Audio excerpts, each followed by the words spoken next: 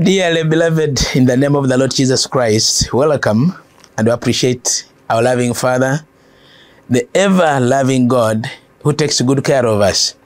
And so let us pray, offering ourselves to His precious hands. Father God in heaven, thank you for the opportunity that you give us. Thank you that we interact with your word. Thank you that we are the ones that we are reading it this season, and so that we shall gain more from it. Bless us and bless our time together in the name of Jesus Christ our Lord. Amen. Beloved, we thank the Almighty God for ever loving us, for ever taking good care of us. The loving God who knows us in and out, and we are created in His own image. And so we continue focusing on His goodness, focusing on His love, focusing on His care. And one of the things actually that I've taken interest in is like we have always shared the people that the Word of God, the Bible talks about, the people that are on the Bible pages from page one up to the very last page. And so these people's names appear in the Bible. And what do they mean to us? They are characters, they are personalities that we think about, that we read about, what they did, what they said, how they acted, good or bad, they leave a message for us. And so we have been in this season talking about the personality, the man called Joel. Joel, the prophet, one of the prophets in the Bible. Of course, actually one of the smaller prophets. And I did mention to you that finding the prophetic books, the book of Joel is one of the shortest, has three chapters. But there is a lot that actually we keep learning from him. The things that he spoke, the things that actually he prophesied, the messages that he delivered to the people, they remain a milestone just like other prophets have done. And so I did begin with the name Joel, and Joel means Yahweh is God. Just that. Yahweh is God. The Lord is God. And we did something about that. Now, we dived into the message that is in the book of Prophet Joel. And I just desire that we digest even more. Think about it even more. And because Joel means Yahweh is God, it is my heart's desire that actually we think a little bit more about the name. That Yahweh name, God, and the descriptions that the Bible people have given to God, and these are his names. You'll realize that actually the Bible is full of God's names. They are his attributes. And depending on the circumstances that God used to appear to the people. And so every circumstance, every situation gives God a name. And so I thought that actually we discover a little bit more with you. There are so many names that God is known for, hundreds of names when you open these Bible pages, so many of them. But since the name Joel means the Lord is God, what does that mean to us? What does it mean to you? And so the name describes the character and the attributes of God. The name of God describes his character, describes his attributes. And so it's not just a name, God. It's not just the name, the Lord. Not just the name, Yahweh. It's because of the things that God keeps doing, the things that God kept doing. And when he says it, he does it. Can I repeat that? When he says it, he does it. When he intends it, he does it. And because when he intends he does it, he says he does it, that is his name. And so, not just a name, not just, but it offers insights into God's nature and his relationship with human beings. Now, God's name is not just a name there, but it has a meaning, it has a relationship. That's why I take close interest in talking more about him because what he says, what he thinks, what he intends, he fulfills, he does it, and so it is all for the good of the beings, the human beings, the creation that he has put in place. So realize, friends, that actually God is goodness, God is mercies, God is name, God is attributes are not in itself for him. But everything that he does, everything that he says, everything that he intends, everything that it is actually for the good of his creation. And since human beings are the apex of creation, since man and woman are the top of creation, the apex, the tip of creation, the topmost. Now our God cares a lot more about us. The reason why his names, his names, his attributes, his character refer to him, but it is for our good. The reason why we needed to take a little bit more time, know him by name, know him by name, and we shall discover a little bit more about that. Now, God is the name, and that is how he refers to himself as Elohim. Elohim. He is your creator. And when you read Genesis chapter 1, verse 1, what the Bible says is in the beginning, God. Praise the Lord. In the beginning, God. And this Genesis chapter 1 tells us that God is, in the other, in the other language, He is Elohim. He is a creator God. Elohim. He's a creator God. He has the power to create. He has the power to make. He has the power to bring into being. The reason why we read Genesis chapter 1, I've already said, in the beginning, God created the heavens and the earth. The earth was without form and void, and darkness was over the face of the deep, and the Spirit of God was hovering over the face of the waters. And God said, Let there be light. And there was light. Praise the Lord. So what he says, he intends it and he does it. And so he's a creative God. The reason why he's called Elohim. He makes. And so, who are we? Who am I? The one who is speaking. Who are you? The one listening and watching. He is God, the creator. And so, in our creeds, in our creeds, those statements of faith, we usually say, I believe in God, the Father Almighty, creator of heaven and earth. So the God that we believe in, you and I, is the creator God. And so when he mentions Joel, Joel, the Lord is God. He is Elohim, the creator God. And so in Psalm 139, we read about ourselves that we are fearfully and wonderfully made. Who made you? Who created you? So this is something that actually you need to bring to the forefront. That as you get out of your house, that as you enter your house, he is the creator God. He's a maker. He is our maker. In Psalm 100 we sing, bring joyful songs to the Lord. He is our maker. So he's Elohim. And so this is just about one of the numerous names that actually God has. He exhibits. He is a greater I am, actually, just like we read in Exodus chapter 3, when God mentions his name to Moses. Go tell them. So he makes things happen. He brings about into existence that which is not. And so I'm very, very confident and very, very sure that the God we believe in, the God we trust in, is a creator God. He makes the impossible possible. And so he is a great I am. He's the Lord today. He's the Lord Yahweh. Now another name that you wish would wish to think about is Elohim Haim. Now, this Haim is the living God. He is the living God. Now, in Joshua chapter 3, verse 10, of course, actually, when Joshua was telling the Israelites today, he tells them, today you will know that the living God is among you. Now, he is not anything. He is the living God. And so as you believe in one of his attributes here, God is living. God is alive. And he acts. He speaks. He works. And so the reason why we, you and I, who believe in him, know that I believe in God, the Father Almighty, creator of heaven and earth. He's a working God.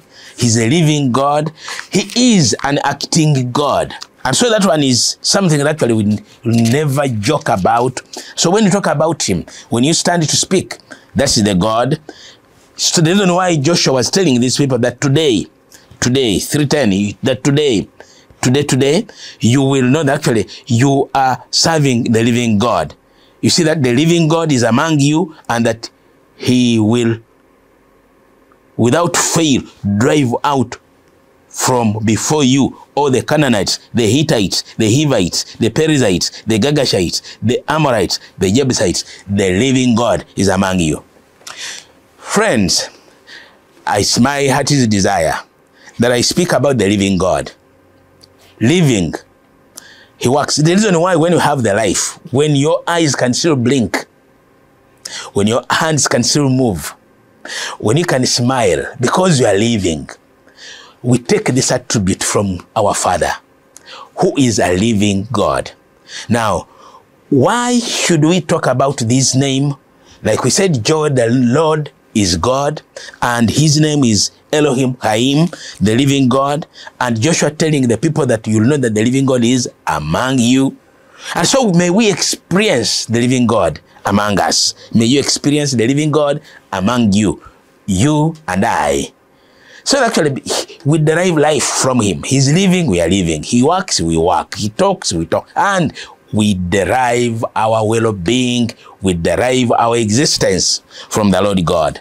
And of course, another name that you will wish to hear from me also is Jehovah Jireh. Jehovah Jireh, the name that actually was exhibited during Abraham's time. Some of these names are Actually, most of them are situational, depending on the situation that was prevailing, and that was his name. Whatever he did when he was doing something, that was his name. So Jehovah Jireh, when you read Genesis chapter 22, verses, read on the story. But the story is common that actually God tested Abraham, telling him, take your son, Isaac, the only one that you have, sacrifice him. The son asks a few questions, but Abraham answers him and say, let's go. God himself will provide. That's his name, right? It, it gets, it becomes his name. Now, as they go, they reach the hill, they reach up there, they have the knife, they have the firewood, they have the, you know, they put up the, you know, the altar hand. now list the, the boy, you know, actually he was to be the sacrifice.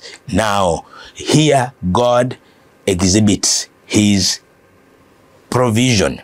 And from nowhere, but from him, the ram was provided. So God provides. And what does it mean, therefore? The Lord will provide.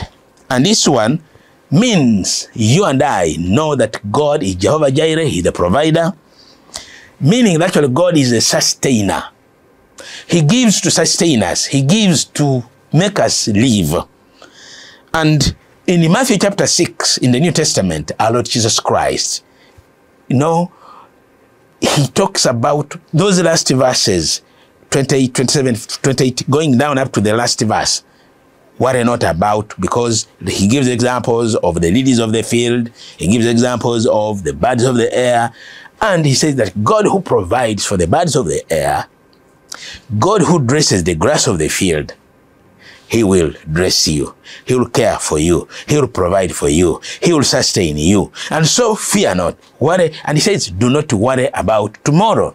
And so this message comes to speak to me, to speak to you. That actually our God whom we serve is a living God and is a provider God. The reason why we call him Abba, Father. And by the way, that's another name. He's Abba, Father. In Romans chapter 8, we read about him, that his spirit propels our spirit to mention Abba, Father. And you see what the Lord Jesus Christ taught us in the prayer that he makes. Our Father who is in heaven, hallowed be your name, your kingdom come, your will be done on earth as it is done in heaven. Give us today our daily bread. Now, give us today our daily bread. You see how connected they are? Abba, Father. Now, Jehovah Jireh, the provider.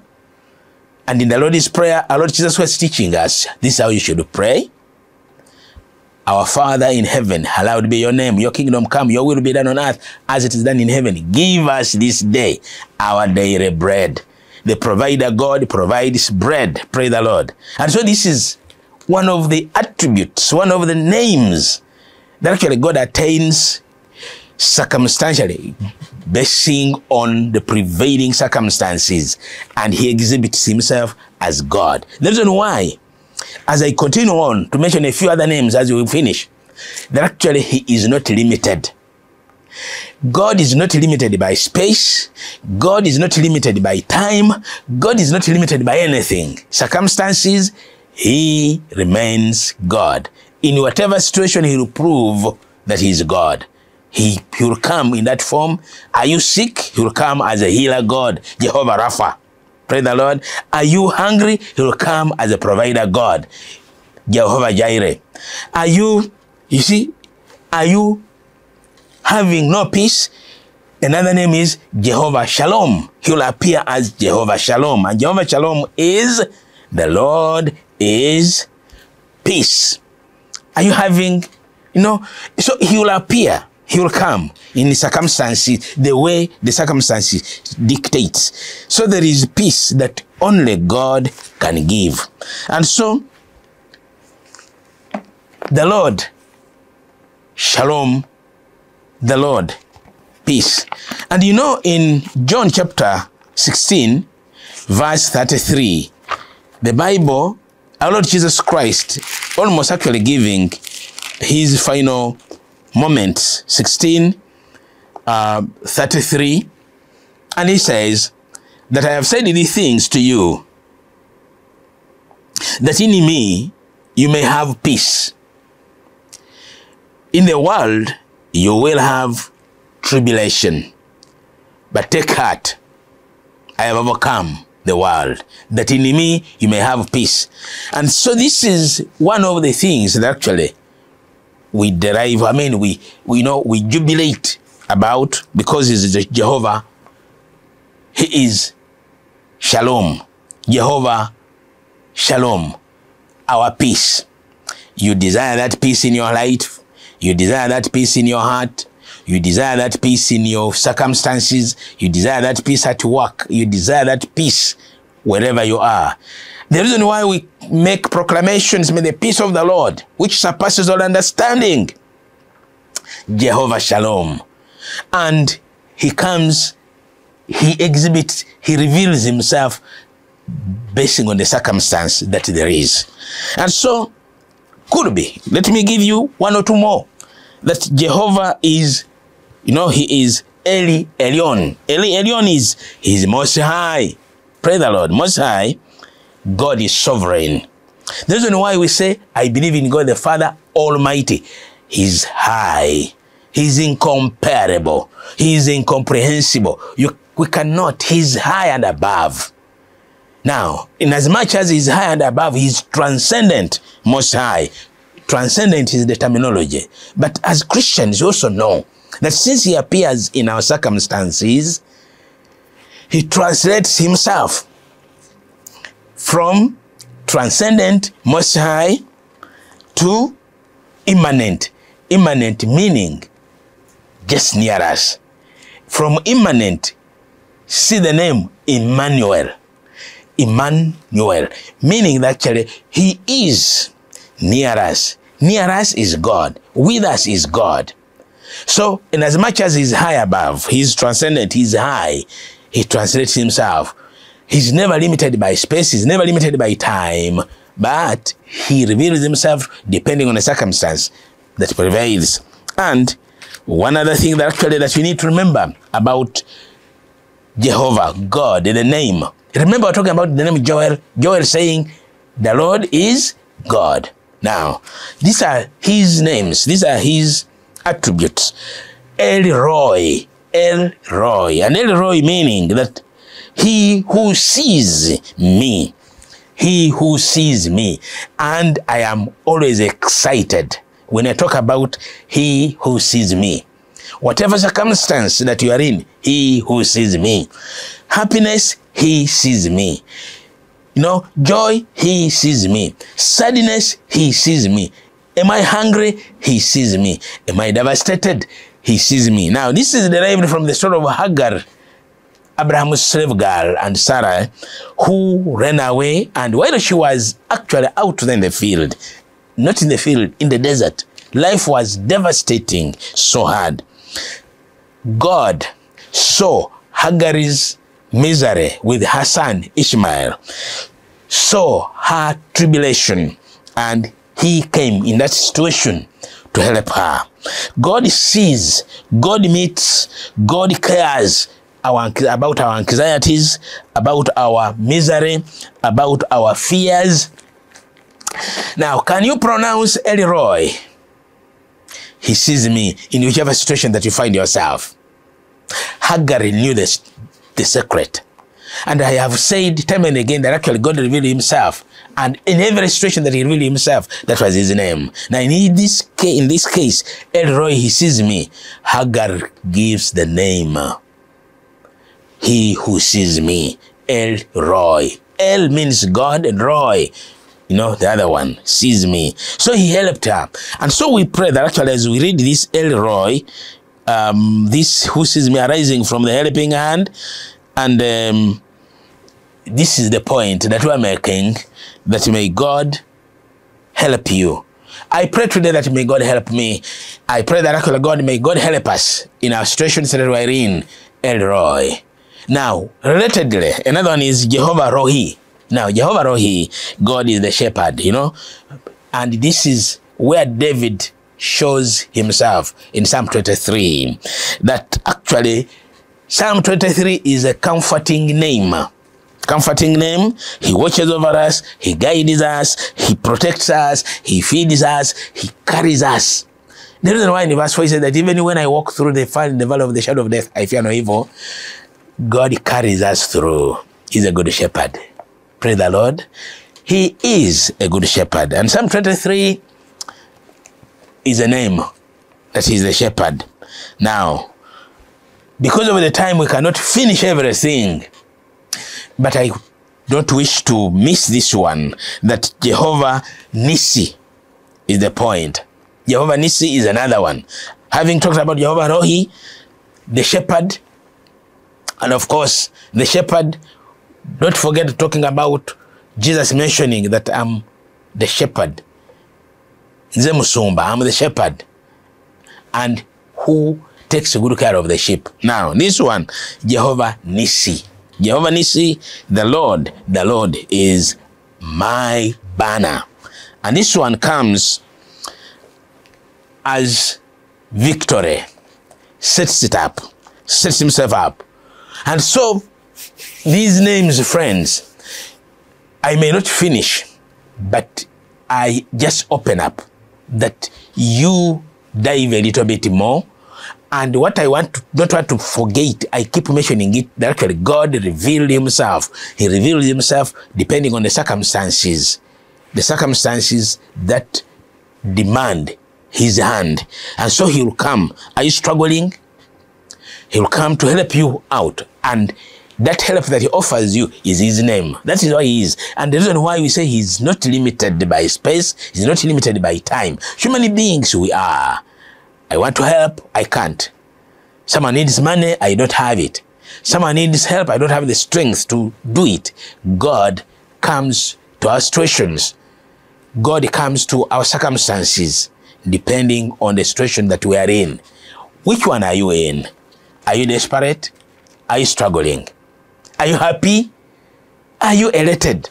Now, God still comes to support you the way He is. He is our banner. And so, go knowing God's names. In Psalm 9, verse 10, listen to what the Bible says Those who know your name put their trust in you. So, this is the point that actually those who know God's name, therefore, I ask you to try as much as possible to know God's name. Know Him by name, and circumstance, circumstances that are around you will reveal His name to you as He helps you through it, as He helps you overcome it, as He helps, helps you to, to sail through. Put your trust in Him. So His power, His wonder, His might describes his works, his acts, the way he responds to us. Now, in which situation are you, my brother? In which situation are you, my sister? So may God, who revealed himself variously, variously among very many people, may he reveal himself to you.